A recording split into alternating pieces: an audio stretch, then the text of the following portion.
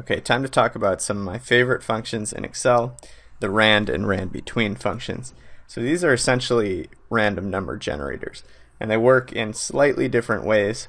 Um, the first is the rand function, and when you write it, you literally just open and close the parentheses without anything in between.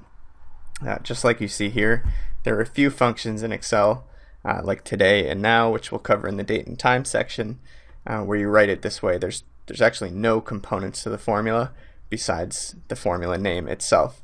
Um, and what the rand function does is it returns a random number between 0 and 1 out to, I believe, 15 digits.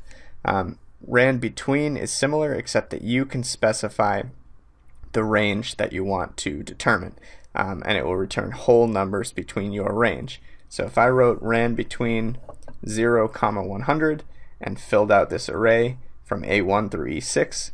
Um, here's an example of what I might see. Um, keep in mind these are volatile functions, meaning that they'll recalculate or re-randomize with any workbook change, so just be aware.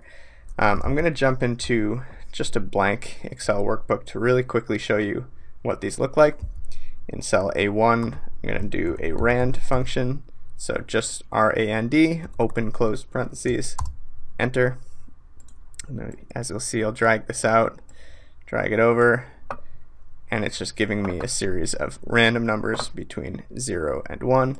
And if I go to the Formulas tab, click Calculate Now, you'll see that they consistently change. Now I'll just change, instead of rand, I'll do rand between, and why don't we just say 0 to uh, 100, and then close the parenthesis.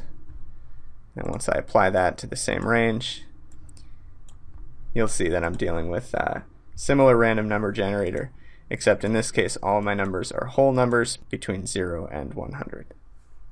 So there you go. Two examples of random number generators in Excel using rand and rand between.